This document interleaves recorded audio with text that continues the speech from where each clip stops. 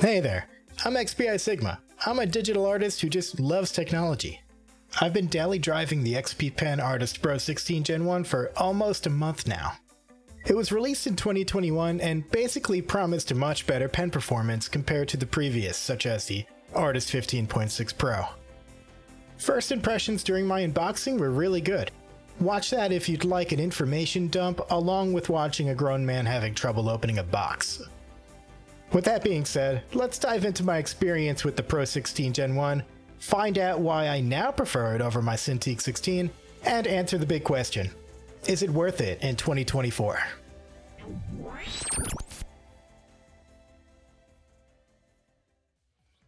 Coming from the Cintiq 16, the screen automatically is an immediate improvement. There is zero parallax. That's the distance between the pen tip and the actual display.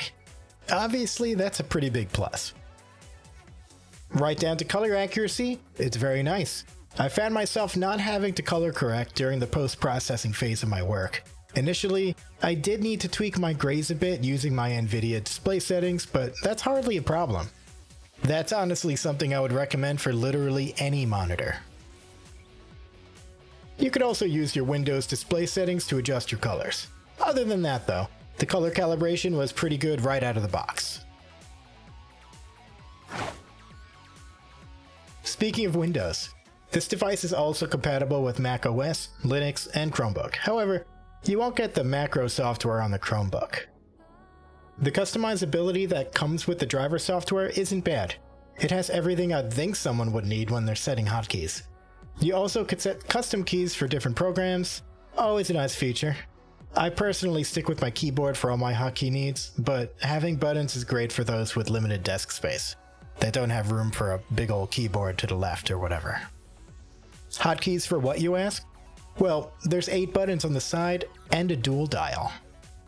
The buttons have a slightly tactile bump, no clickiness though. The dual wheel has a silver physical knob which is completely linear. No click, no tactility.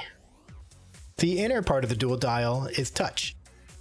It is pretty responsive, however, I don't think I'll be using them personally. I already have a dial on my keyboard, and my keyboard in general has all the hotkeys I need anyway. One of my favorite uses for a dial, set one direction to be something like Control Z, and the other direction to be Control Y. That way, you're kind of just dialing through time as you're drawing, so you could undo and redo just at the touch of a dial.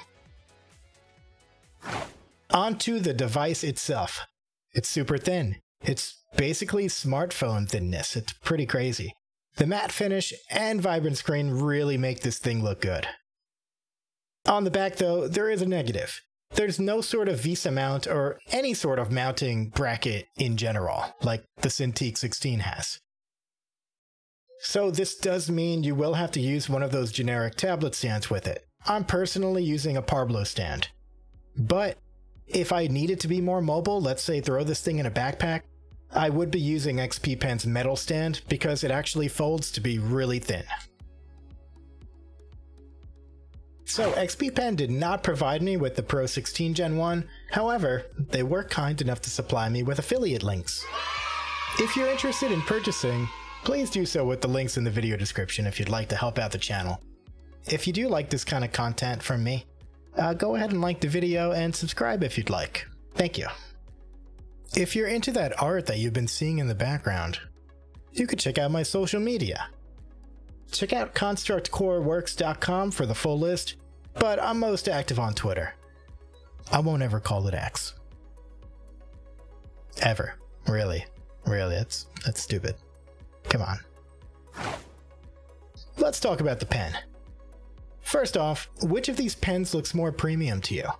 The previous XP pen has a nice big grip, two buttons, and no eraser. The X3 Elite Plus, that you get with the 16, has no grip, two buttons, and an eraser. During my unboxing, I was a little concerned how comfortable drawing would be without the grip. To my surprise, I didn't miss the grip at all, but don't get me wrong, a grip is still a nice to have. In my Artist 15.6 Pro video, I mentioned how the pen tip wouldn't line up with the cursor correctly whenever you tilted it and stuff like that. The Elite Plus is definitely an improvement. Not as perfect as a Samsung S Pen or a Wacom stylus, but it's still a great improvement regardless. But more on that later. With all that being said, the pen feels great and draws great. The lines don't have any of the weird tapering that you'd see on a budget device, and if there is wobble, I surely haven't seen it yet. Both sketching and line art has been a great experience. And to be honest, I don't think I'm going back to my Cintiq 16 anytime soon. Let's talk about that. Being both from Wacom and of course having a similar active area, it's a direct competitor to the 16 Pro. The Cintiq 16 costs about 600 bucks USD refurbished and 800 USD new. The Pro 16 Gen 1 was about 315 USD on sale. With that being said, the Pro 16 is considerably more bang for your buck. Here's the way I see it. The Cintiq 16 gets you a better pen, but an inferior screen. With quite a large gap between the pen and the display, the parallax isn't the best, especially compared to the essentially zero parallax of the Artist 16 Pro. The color accuracy on the Cintiq isn't bad, don't get me wrong, but it's not perfect. The XP Pen definitely beat it there. And if you're into buttons, well, you don't get that on the Cintiq 16, but you got that here on the XP Pen. When it comes to mounts, yeah, you do get that certain VESA bracket with that Cintiq 16. But when you compare them, the Cintiq honestly is a big chonker. It's a big one. It's a very similar width, but we're talking about how deep it goes, and it is a thick boy. But if you have room on your desk, that doesn't matter. But I still feel like I need to mention it. Here's everything just kind of stacked up nicely in a little table. Sacrifice just a tiny bit of the pen, and you get yourself a slightly better overall experience. You just get so much more with the Pro 16 Gen 1. We can't even forget that the Cintiq 16 came out in 2019, where this XP pen came out in 2021.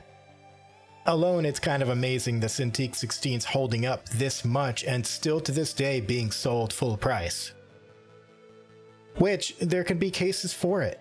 I'm still all cool with the Cintiq 16. I think it's a great device. But with a device that costs essentially less than half new, it really kind of makes you think. To each their own, of course, but I'll be sticking with the Pro 16 until I get my QHD 120Hz Dream tablet. One of these days. Thank you, though, to Wacom for giving me a great baseline to judge my experiences on. But I'm very satisfied with the Artist Pro 16 Gen 1, and I'm sure you would be too. Now, this needs to be said, of course.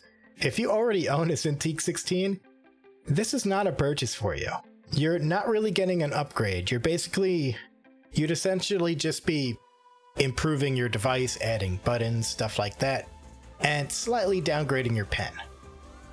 But if you are in the market for something new, maybe you're graduating from a regular slab tablet or a smaller tablet or whatever, if your budget's around 300 USD, I think this is a great buy.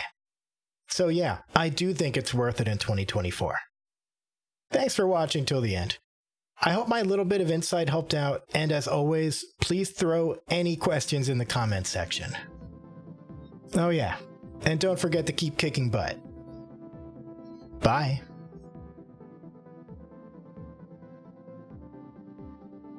But yeah, I'm like, what the heck? This this Cintiq came out in freaking 20, 2019? What what is that? What does that mean? How how did it stay this relevant for this long? Why isn't Wacom upgrading stuff?